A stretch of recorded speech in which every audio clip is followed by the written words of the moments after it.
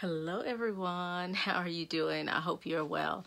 I am Dr. Today, I would like to talk about five ways to a better broadcast. Uh, better live broadcast, that is. So, for some of you, this may be uh, a reminder or, you know, kind of this um, refresher uh, broadcast. And for some of you, it's something that you may not have ever thought about. And so, I'd like for you to consider some of these things as you live broadcast and you hit the button. So here we go. So five ways to a better broadcast, live broadcast that is. So one thing that I, you know, one thing that I've been doing lately, I haven't been broadcasting as much, but I've been watching broadcasts and I've been doing it kind of reevaluating what I'm doing, what I am, how I am showing up on the camera and how my broadcasts come across to others. And so I, you know, look and see what other broadcasters do and see what I like, what I don't like, and go through that. So that is definitely something to do.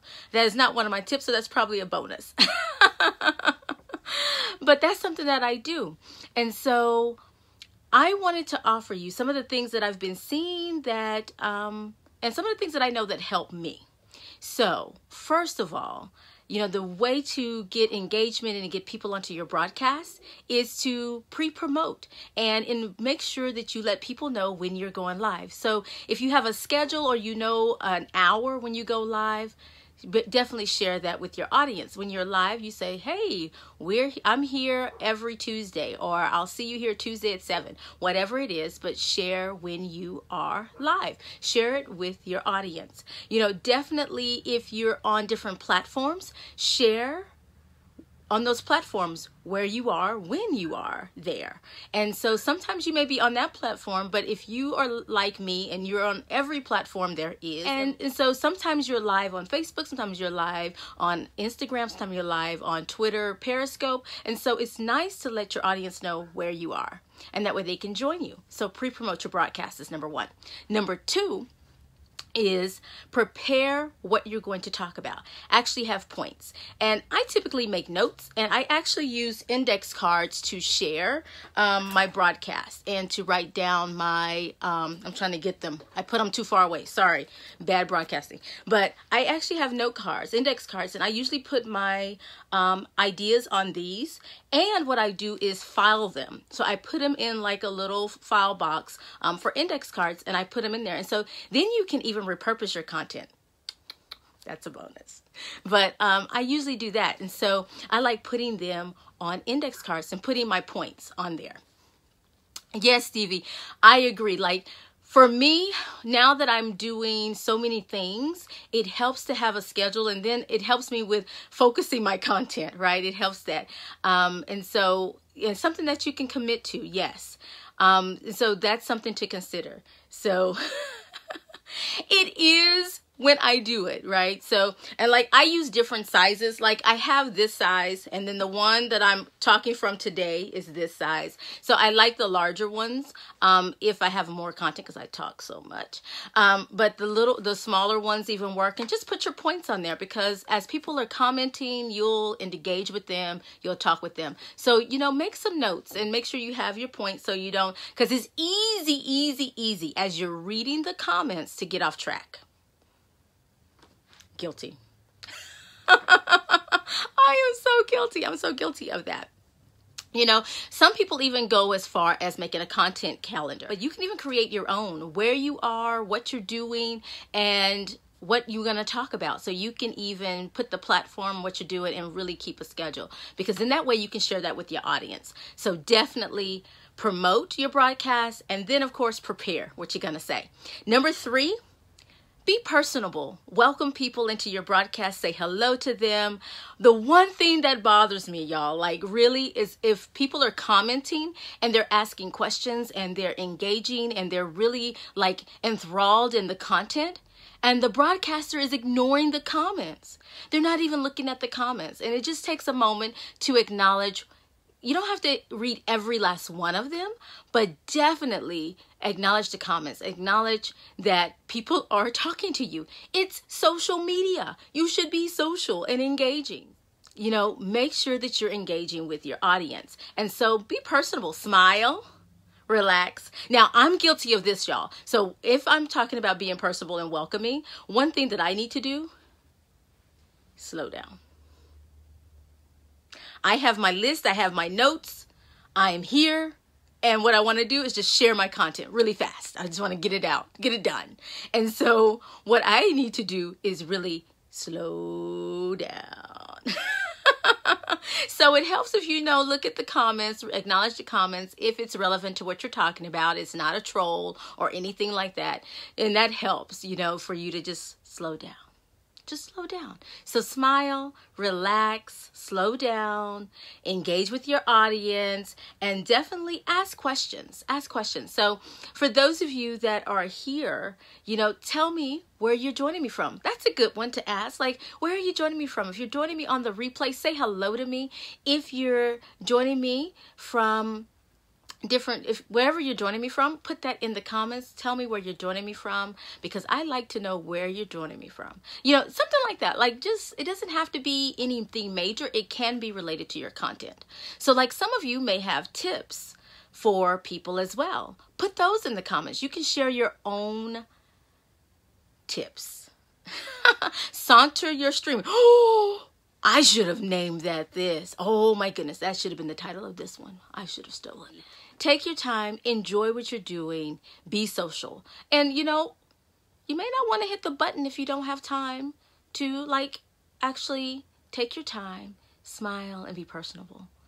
I was in someone's broadcast the other day and they were so mean to the audience. Like, they were not going to give content. They were going to hold the content until 2,000 people commented when it was 10 people on there. It was really um intimidating. It was like why such the attitude? Like why do you have to be like that? And i was watching that broadcast. Okay so let me recap and go back because you know here i am. I'm sauntering the stream apparently right miss stevie? So let's get this. So one promote pre-promote your broadcast. Tell your peeps where you're gonna be on different platforms and create a schedule. It's better if you have a schedule. Even if there's one day a week you know you're going to show up, at least share that one day a week.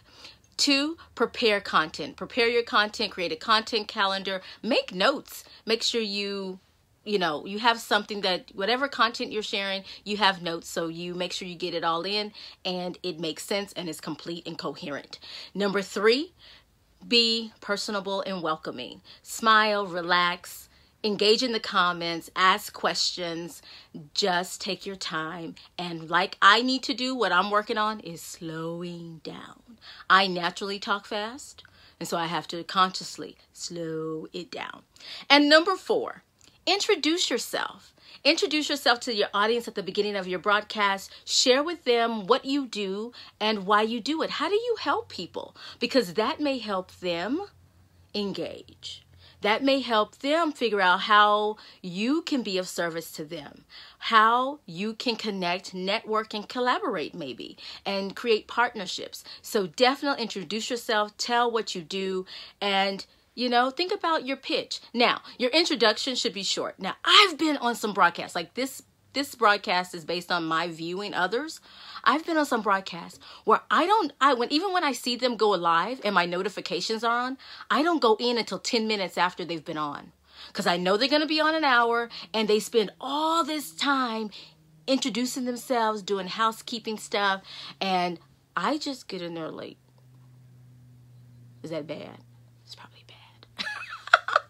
But that's what you don't want your audience to do. You don't want them to delay coming to see you. So you want to introduce yourself, 30 seconds, do your intro, tell what you're going to talk about. Like I did at the beginning of this broadcast, I gave you just a little tease or peek into what we were going to talk about before I started sharing some housekeeping. And I did that very quickly. And so that's what you want to do. You want to make sure that you say who you are, tell who you are, but then get on with it. Get on with it. Yes. 10 minutes. Like it is like ridiculous. And then i go and so i keep going because i know they have good content. Like i'm i'm i'm devoted to this right? I'm invested in what they do because they have great content. But it takes them like 10 minutes. People want to know what's going on. They need to know what should I invest time in this? Should I invest time in this? Or should I go? And so it's better if you let them know what you're talking about. Give them a little a little bit a part of your intro. You don't have to spill all the beans I know some of us like to keep things secret. to later in the broadcast, but at least tell them the topic so they know and where you're going. So they know if it's relevant to them and if it fits what they need. Because, yeah, 30 second commercials are what we do. Yes, we do. Really quick. All right. And number five a call to action. You should have a call to action. You should have some way for people to, what are they going to do at the end of your broadcast? What do you want them to do as a result of listening to you? Do you want them to connect with you off and do some post show comments? Maybe they you want them to answer a question. So like for all of you, I would like for you to share your tips to a better broadcast. What do you like about other people's broadcasts? Share that in the comments below. If you're on the replay, definitely tag me and share and share in the comments. You can even share it on Twitter and tweet me. I'm at Dr. Tammy Francis. See, something like that, but give them a little bit to take back. Yes, give them a little and take and take it on back. There you go. You want them to to do something as a result of watching you. And so maybe how can the content in additional to your live, how can you help them with that? Oh my goodness. I hope this this broadcast is doing okay. My connection is wonky. I apologize. Um, I'm, I'm getting a message, so I'm, I'm I haven't checked the connection, but I'm hoping it's okay. Maybe you want them to join a class. Maybe you want them to join you live on Tuesday. Cap for those of you that are coming on on a replay, definitely um, tell me hello, and then let me just tell you the five ways to a better broadcast, and then you share your own in the comments. Number one, pre promote. Number two, prepare your content. Number three, be welcoming and personable. Four, introduce yourself and tell a little bit about yourself. Make sure you make that 30 seconds. Get to it and get into your content. And then a call to action. Give them a link, some kind of call to action. What do you want them to do? Keep your viewers coming back each day. Yes, Stevie, exactly. You want them to keep coming back. You want them to engage with you outside outside of that platform, off of that platform, or between your live broadcasts. So you definitely want to connect with them between the broadcasts and make a connection, true connections and get to know people, get to know your viewers. And then they will support you. And you know, you don't really have to sell them anything, but if you have something to sell, you can. But if you just connect with people, you'll be surprised at how they'll follow you and stay with you and on different platforms. Even if they say I'm not on Facebook, they'll find you on Facebook if they're on Facebook. I'm not on Instagram you keep delivering good content and being engaging with them and connecting with them, you'll be surprised at what happens. Thank you all for joining me. If you have not liked this, like, turn on your notifications so you'll get notifications when we come live and give you great tips. Thank you all for joining me. Definitely say hello if you're on the replay and share your tip. If you have a tip for um, improving live broadcast because you're a live broadcaster, share it with us in the comments. I look forward to engaging with you even after this broadcast. Take care and have a great day. See you soon. Bye.